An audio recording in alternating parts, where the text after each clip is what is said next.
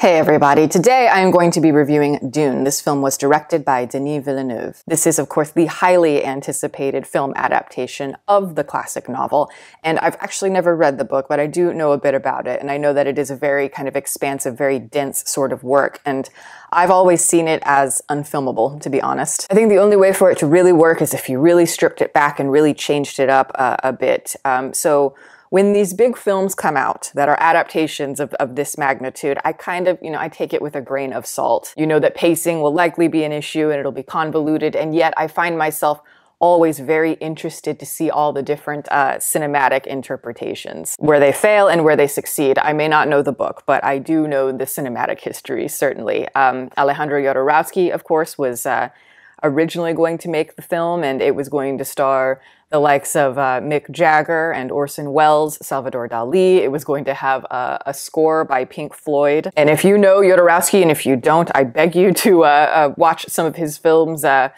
his interpretation of Dune would have been a batshit psychedelic ride, baby. Would it have been a complete fail as a Dune adaptation? Probably, but you know, might as well have fun while you're doing it. But they eventually gave it to Lynch because of his success with a more mainstream film like The Elephant Man.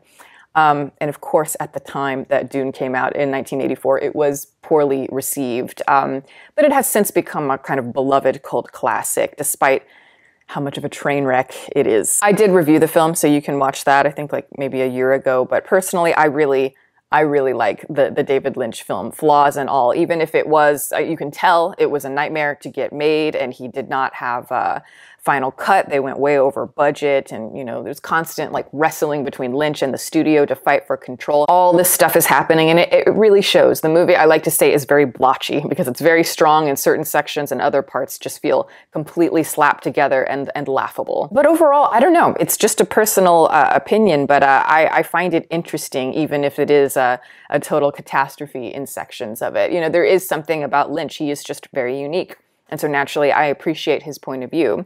Um, you know, there is kind of a dark, psychedelic, twisted um, feel to the movie, but it also has those those interesting shades of. Uh, of camp and homoeroticism on the verge of farce at times. You know, it, it, echoes a lot of that spirit of the midnight movie. And of course, Lynch and Jodorowsky were uh, midnight movie icons in the 1970s. But I do admit at the same time, part of me really does crave a serious version of Dune, one that can really be taken seriously all the way through as an epic. And I, I, know that that is asking a lot, but you know, I think the material uh, deserves that. So naturally, when I heard that Villeneuve was going to be taking on the project, I got very excited. It's a good choice. You know, he he did wonders, I think, with Blade Runner 2049, especially uh, aesthetically. And um, I also reviewed that one. It was very tastefully done.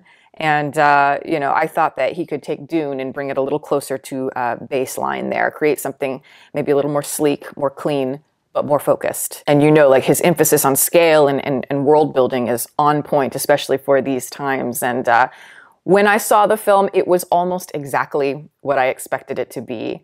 Um, overall, it, it is gorgeous looking, absolutely spectacular. It's really rich in composition.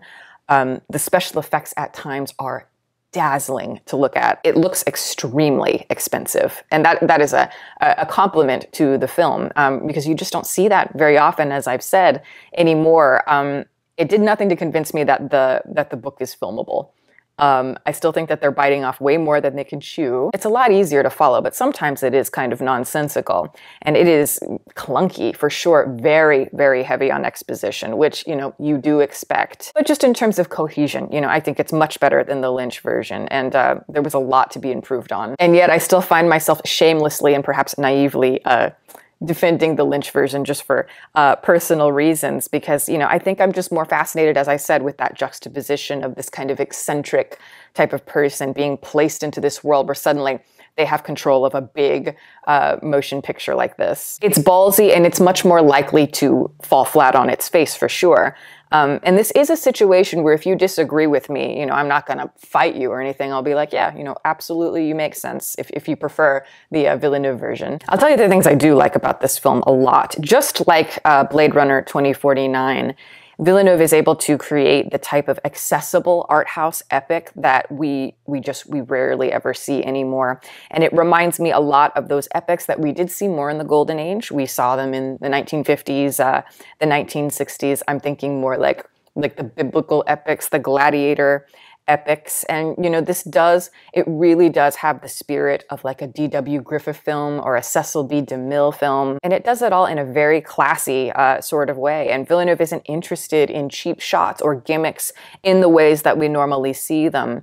Uh, he's more about kind of the nuance and bringing out subtleties of an experience. And for me, I may not get a lot of texture from his films, but I do feel often I do feel the weight of all of these environments and you feel yourself kind of being allured forward, you know, slowly being drawn into it. And at times that can be so exhilarating just as an experience. Um, and it, it reminds me of the times when movies were an event, where people went to the movies. And it reminds me of the possibilities we have now, even if the risk is perhaps greater, uh, especially from a from a financial standpoint. But um, Ultimately, this movie does cut off kind of abruptly. And yes, I know that it is just the first half, um, but it does make it difficult to talk about in terms of merit because it is just, you know, it is kind of half of a film. It'll be much easier to judge, I think, when it all comes together. So I feel like I'm sort of reviewing like a fragment or like a partial piece of something that is not whole. And I do wish that this one overall had a more conclusive tone to it. I know it's supposed to be just right in the middle and it's going to continue,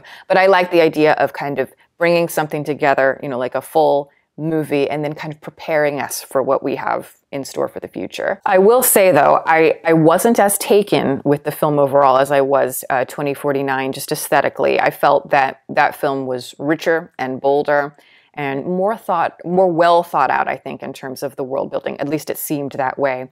Uh, but you know, I will say this, if you did watch my review for it, one of my nitpicks was that even though the minimalism is really beautiful, there is something about it that is perhaps too minimalistic. But at the same time, I missed a lot of the, the grime and the textures, the wetness, more of that authenticity. Um, whereas this new one felt cold and, and more removed. And again, I really like it. I just wanted a little bit more of that uniqueness that I got in the original, which I, I definitely preferred aesthetically. And I have to admit, I have a lot of those same complaints about Dune, but but more so. There are moments, like I said, where you just the heft and the weight of everything. You really feel it. You feel it in this world. Uh, you know, I look at some of these shots and it, it's reminding me of like Lawrence of Arabia, or as I said, like a big like intolerance or, or something like that. But it does become too cold at times. And even though it is mixing an idea of like practical effects and CGI, which I really appreciate, um, when it becomes less practical and more CGI, just unfortunately, I feel like no matter what, no matter how advanced we get, it's still you don't feel it in the same ways. You don't feel like the rust and the creaking, the heaviness, the clunkiness of those metal machines and like ships and hangars being lifted. There's something about CGI, no matter how advanced we get, there's something about it where it feels very floaty and weightless. And when you're going for something like this, especially with the worms, I know this is going to be a controversial opinion, but I think there are some things that I prefer about the worms in the Lynch one, even though, you know, the special effects and everything are, are not near what this is. This one is extraordinary, the way that these worms look. And yet there was something about the movement of them that I didn't feel in the way that I feel in, in the Lynch version. It feels more like Shadow of the Colossus. I love just how slow and big everything is in that game.